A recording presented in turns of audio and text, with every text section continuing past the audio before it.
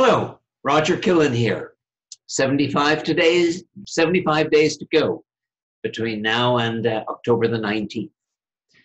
Today was all about making logistical arrangements in support of our uh, 12 speakers training. Uh, the uh, first event was uh, takes place uh, a couple of weeks from now on October August the 16th and this is where uh, each speaker is given an hour to uh, uh, to read their revised script to the three Get Inspired Talks accredited speaker coaches and myself. The reading should take between 10 and 15 minutes, and then we sit down for the balance of the hour and discuss the script, give the speaker uh, uh, things to work on, uh, how we reacted to it.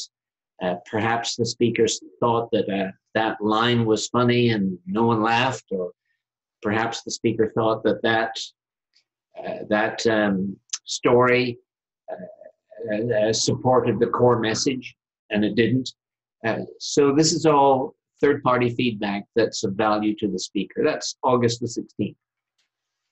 The next event is August the 27th.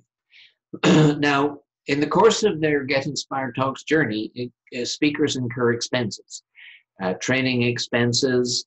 They might buy a new outfit for their delivery on October the 19th, hair, makeup, odds and sods, uh, but mostly training expenses.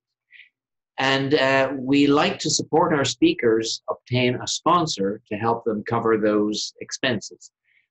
so uh, we've arranged for a lady called Charmaine Hammond to deliver a talk on how to find a sponsor. Uh, that event is an evening event, takes place on uh, August 27th. Uh, next is an event that takes place on uh, September the 8th, and uh, each one of our speakers gets 30 minutes to deliver their uh, now getting close to final talk to a live test audience. Uh, that audience uh, reacts, laughs or doesn't where they're supposed to, uh, feels uh, an emotional moment or doesn't where they're supposed to. And uh, that is recorded and sent to the speaker so that they can perform the, the highest value of self of evaluation, which is self evaluation. Uh, we also ask the test audience members that, that, they're made up of seasoned speakers who are well qualified to give uh, high quality evaluations. We ask them to provide each speaker with a short written evaluation. October the 5th and 6th is when uh, we have our dress rehearsals.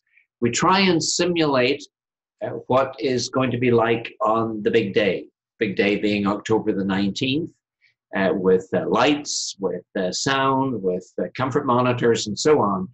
Uh, each speaker is given an hour so they can run through their talk uh, twice and receive evaluation and, of course, the video of their of their performance to help them improve.